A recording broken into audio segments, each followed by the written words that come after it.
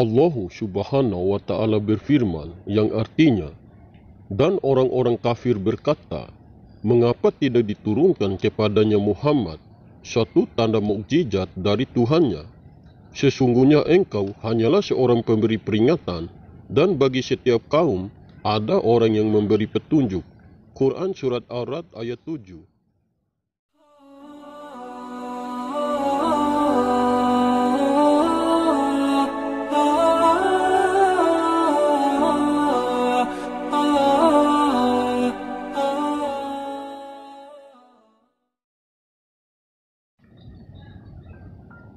Assalamualaikum warahmatullahi wabarakatuh.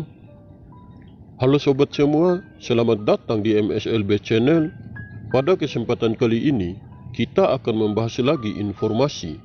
Bersiap-siaplah, karena Sang Khalifah ataupun Imam Mahdi sudah mulai bergerak. Sebelum saya menyampaikan informasi ini, saya ingin mengingatkan kepada kalian semua bahwa setiap informasi yang saya sampaikan ini hanyalah sebuah gambaran saja mengenai sosok seorang manusia pilihan Allah yang berjiwa kerasulan. Dan setiap informasi yang saya sampaikan bukanlah suatu kebenaran yang mutlak, karena kebenaran yang mutlak hanyalah milik Allah subhanahu wa ta'ala. Pada setiap zamannya akan selalu ada dan akan selalu hadir seorang pemberi peringatan dan pemberi petunjuk seperti para nabi dan rasul dan para imam ahlul bait dalam kehidupan masyarakat manusia yang mana ia dipilih dan ditentukan oleh Allah subhanahu wa ta'ala agar petunjuk yang diberikannya kepada masyarakat manusia 100% benar.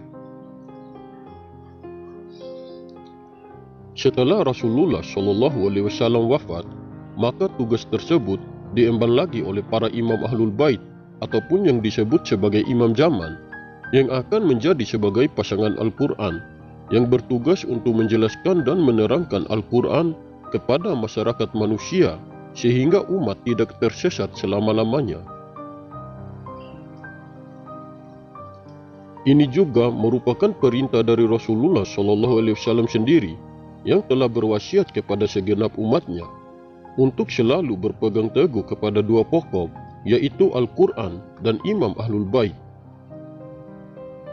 Rasulullah Shallallahu Alaihi Wasallam bersabda, Aku tinggalkan padamu sesuatu yang jika kamu berpegang teguh kepada keduanya, niscaya kamu tidak akan sesat selama-lamanya sepeninggalku, yaitu kitab Al-Quran dan itrah Ahlul Baitku. Pada setiap zamannya, terdapat seseorang yang telah sampai kepada tingkat manusia sempurna, di mana Tuhan menjadikannya sebagai contoh sempurna dalam ilmu dan amal. Orang semacam ini adalah Khalifah Allah yang akan menjadi sebagai tangan dan kakinya di muka bumi ini. Kepemimpinan manusia berada di tangannya dan akan tetap seperti itu selama langit masih kokoh. Saya sengaja mengulang kembali tentang penjelasan tadi, agar sobat yang lain yang belum mengetahui bisa dengan baik mengetahui dan memahami tentang sosok seorang manusia yang benar-benar akan menjadi imam zaman. Sosok manusia yang menjadi imam zaman pada setiap zamannya adalah seorang manusia yang mewarisi Nur Muhammad ataupun cahaya di atas cahaya di dalam dirinya dan jelas juga nasab atau silsilah-silsilahnya sampai kepada Rasulullah Muhammad SAW. Setiap manusia pilihan Allah yang akan menjadi pewaris dan penerus Rasulullah, sudah pasti seseorang itu bergelar seorang wali kutub. Karena seorang yang menjadi wali kutub tentu saja mewarisi Nur Muhammad ataupun cahaya di atas cahaya di dalam dirinya dan sudah pasti jelas juga nasab atau silsilah-silsilahnya sampai kepada Rasulullah Muhammad sallallahu alaihi wasallam. Keberadaan wali kutub pada setiap zamannya selalu disembunyikan oleh Allah Subhanahu wa taala sehingga akan menjadi rahasia bagi banyak orang. Kemunculan seorang manusia yang menjadi wali kutub pada zaman sekarang inilah yang benar-benar pantas mendapat gelar sebagai Imam Mahdi ataupun Al-Mahdi dan hanya orang-orang pilihan Allah yang bisa mengetahui dan yang bisa berjumpa dengan sang khalifah ataupun Imam Mahdi. Sang khalifah ataupun Imam Mahdi adalah seseorang yang telah sampai kepada tingkat manusia sempurna, yaitu seorang manusia pilihan Allah yang sudah disempurnakan oleh Allah hati, jiwa, dan pikirannya. Beliau adalah manusia pilihan Allah yang menjadi pewaris dan penerus Rasul dan beliau diangkat oleh Allah Subhanahu wa taala di muka bumi ini sebagai rajanya manusia yang akan menjadi sebagai pemimpin seluruh makhluk yang ada di langit maupun yang ada di bumi ini. Mulai dari hari kemarin, sang khalifah ataupun Imam Mahdi sudah memerintahkan pasukan-pasukannya untuk segera bersiap siaga. Beliau sedang bergerak perlahan-lahan untuk mempercepat proses pelantikan dirinya secara jahir. Karena di alam ruhani, beliau sudah dibaiat ataupun sudah dilantik langsung oleh Allah Subhanahu wa taala. Sang khalifah ataupun Imam Mahdi sudah dari dulu menjadi penguasa di alam gaib dan beliau sudah menjadi pemimpin seluruh makhluk gaib, baik yang ada di langit maupun yang ada di bumi. Karena beliau untuk sementara ini hanya bergerak perlahan-lahan saja sehingga beliau belum memerintahkan semua pasukan gaibnya yang ada di langit maupun yang ada di bumi untuk segera bertindak. Saat ini beliau hanya memerintahkan pasukan-pasukannya di alam nyata saja agar segera siap siaga. Karena beliau bergerak secara perlahan-lahan untuk mempercepat proses pelantikan dirinya secara jahir. Dari kemarin Sang Khalifah ataupun Imam Mahdi sedang mengatur para pasukannya di alam nyata. Beliau memerintahkan pasukan-pasukannya untuk tidak berpergian dulu yang jauh. Dan beliau mengatakan untuk tetap sering berada di tempat beliau, agar tetap siap siaga.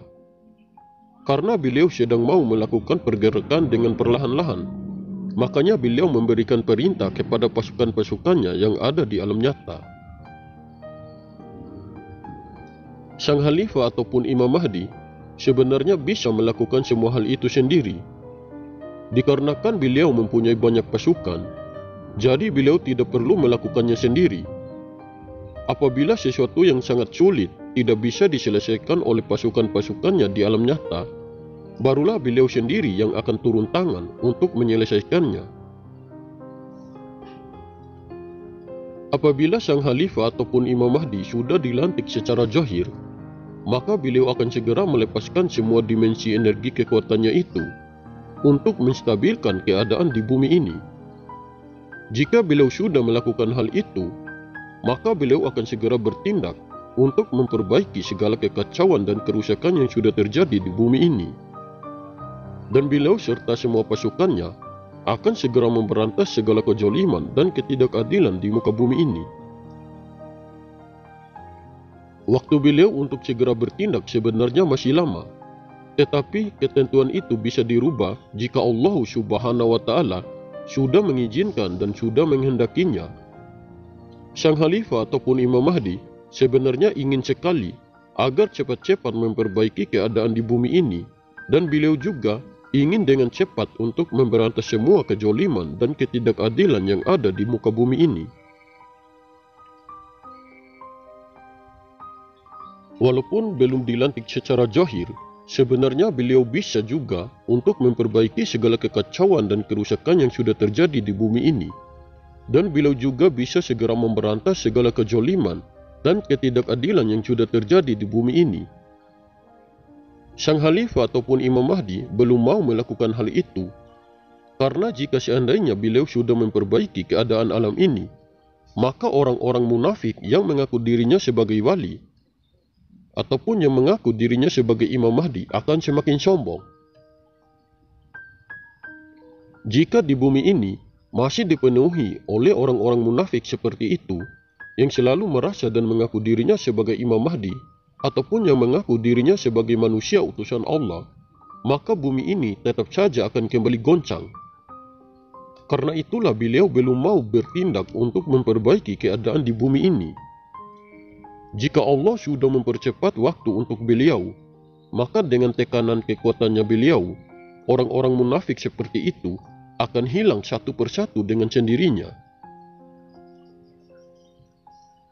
Untuk orang-orang yang selalu rindu dan yang selalu menantikan kehadiran Sang Khalifah ataupun Imam Mahdi, tetaplah bersabar karena beliau saat ini sudah ada dan beliau sedang bergerak perlahan-lahan untuk mempercepat proses pelantikan dirinya secara jahir.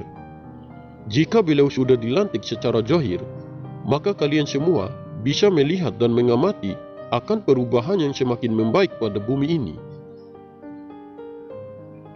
Jika keadaan alam di bumi ini semakin membaik, barulah sang khalifah ataupun Imam Mahdi akan segera memerangi segala kejoliman dan ketidakadilan di muka bumi ini. Dengan dimensi energi kekuatannya yang sangat luar biasa, beliau bisa merubah keadaan di bumi ini menjadi penuh dengan kedamaian dan kejujuran dan penuh dengan kehidupan yang sejahtera. Sehingga di bumi ini nantinya tidak akan banyak lagi pemimpin-pemimpin negeri ini yang selalu berbuat jolim terhadap rakyatnya sendiri.